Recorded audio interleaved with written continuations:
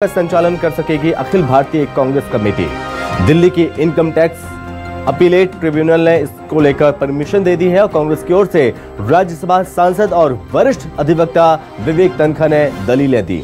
Freeze हुए bank खातों के ज़रिए कांग्रेस नहीं कर सकेगी चुनाव में सहभागिता। एक करोड़ के अनियमित लेन देन के आरोपों के बाद फ्रीज किए गए थे अखिल भारतीय कांग्रेस कमेटी के बैंक खाते और बता दें कि नियमित रूप से रिटर्न भरने और टैक्सेशन का हिसाब देने के बावजूद भी कार्रवाई की गई ये दलीलें दी ये बयान दिया और अखिल भारतीय कांग्रेस की अंतरिम राहत की प्रार्थना पर बुधवार को अब अगली सुनवाई होने वाली है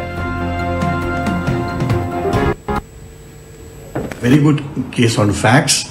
Uh, we had filed a return on time. It is being misconstrued, and only on for that reason we can't be punished disproportionately. Number two, uh, we we our revenues for that particular year was 198 crores, and we spent uh, admissible expenditure that was incurred was 197 crores, and uh, how uh, a penalty, uh, uh, a taxation of 130 130 or 150 odd crores has been made on us, with interest coming to 135 crores. I said it is all I would like to argue on merits. But today, protect the party, protect democracy, and allow us to operate a bank account.